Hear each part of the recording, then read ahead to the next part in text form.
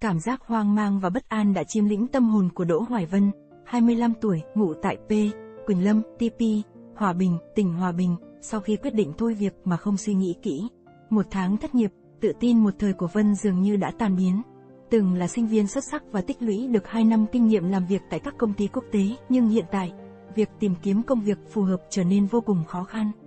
Tìm kiếm một công việc tốt và phù hợp với bản thân đòi hỏi một sự chuẩn bị kỹ lưỡng và quá trình không hề dễ dàng. Gửi hồ sơ, tham gia phỏng vấn và chờ đợi. Tháng ngày trôi qua, Vân cảm nhận sự lo lắng không nguôi vì áp lực chi phí sinh hoạt khi không có thu nhập. Tâm trạng lúc nào cũng như lạc hướng. Vân chia sẻ, không tìm thấy công việc theo ý muốn khiến tôi mất đi sự tự tin ngày trước. Tôi phải đăng ký làm việc bán thời gian tại cửa hàng tiện lợi để có đủ tiền trả thuê nhà. Áp lực ngày càng tăng khi nhìn thấy sự kỳ vọng từ gia đình và thành tích của bạn bè. Thời gian thất nghiệp đã cho tôi thấy rằng tôi còn thiếu nhiều kỹ năng để có thể thực hiện công việc ước mơ. Lê Thu Trâm, 23 tuổi, ngụ tại P, Hòa Phú, TP, Thủ Dầu 1, tỉnh Bình Dương, đã bước ra khỏi con đường học đại học để tìm kiếm kinh nghiệm làm việc.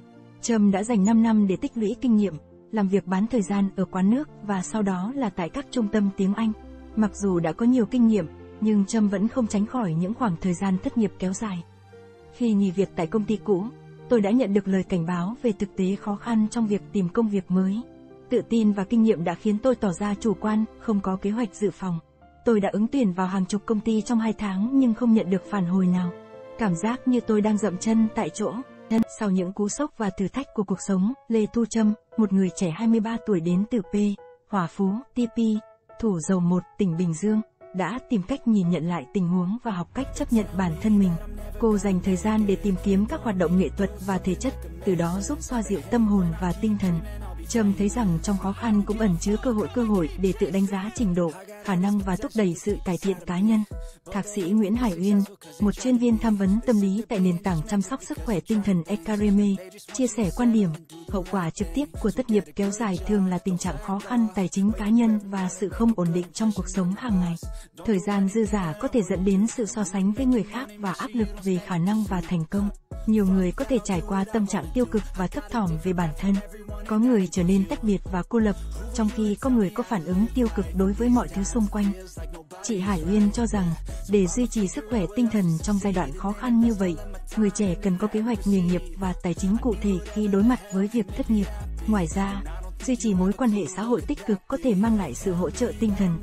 Bên cạnh đó, cần duy trì thói quen hàng ngày lành mạnh và phù hợp với bản thân, bao gồm việc quản lý chế độ ăn uống và thực hiện hoạt động thể chất.